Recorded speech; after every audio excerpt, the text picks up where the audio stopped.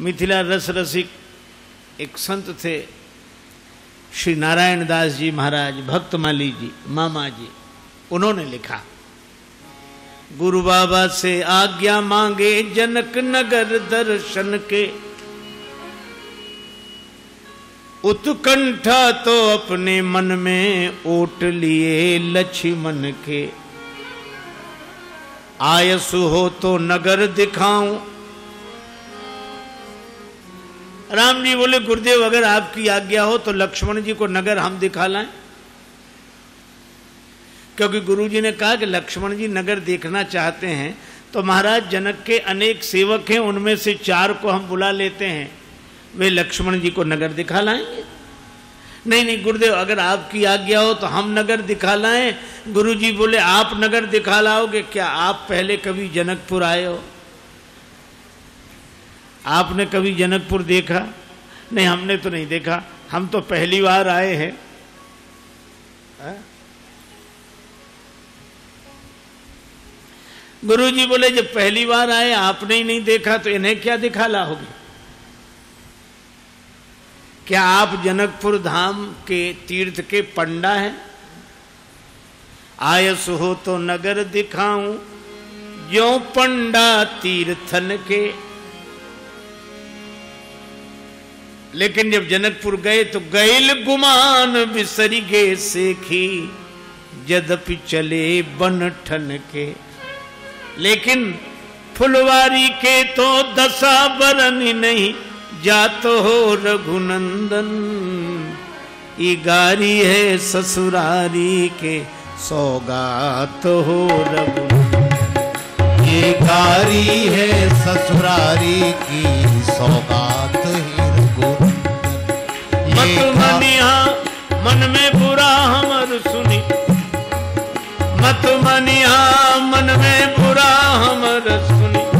हो रघुनंदन गारी है ससुरारी के सौगात हो रघुनंदन। यद्यपि जनकपुर में जब राम जी ने कहा कि हम नगर दिखा लाएँ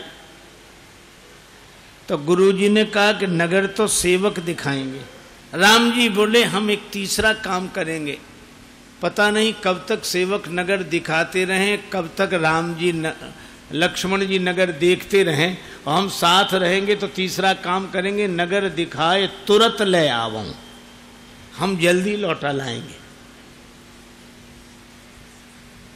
लेकिन यहाँ तो श्री जानकी जी की महिमा है। जनकपुर में प्रवेश करके भगवान श्री राघवेंद्र के रूप का जादू चला। गौर कुमार लसे सुनवा सम सांवर लागत नील नगीना, ऐसे श्री राम राजेश सखी दिखराए छवि। सबके दिल छीना, रूप को जादू चलाई चले अभिमान में आपन तान के सीना। लेकिन पुष्पवाटिका में, किंतु लली मुख देखत लाल को आय गयो छन माह पसीना। बाल तिलक श्रम बिंदु सुहाए। ऐसी हमारे जनक नरेंद्र नंदनी जानकी माता की महिमा है। भगवान आए। अब तो जनकपुर में गुरु जी ने कहा कि देखना ही नहीं, दिखाना भी। करो सुफल सबके नयन। इन लोगों के नेत्र भी सफल नहीं हुए। क्यों? ये तो सब ज्ञानी हैं। और गो गोचर जहाँ लगी मन जाई, सो सब माया जानहु भाई।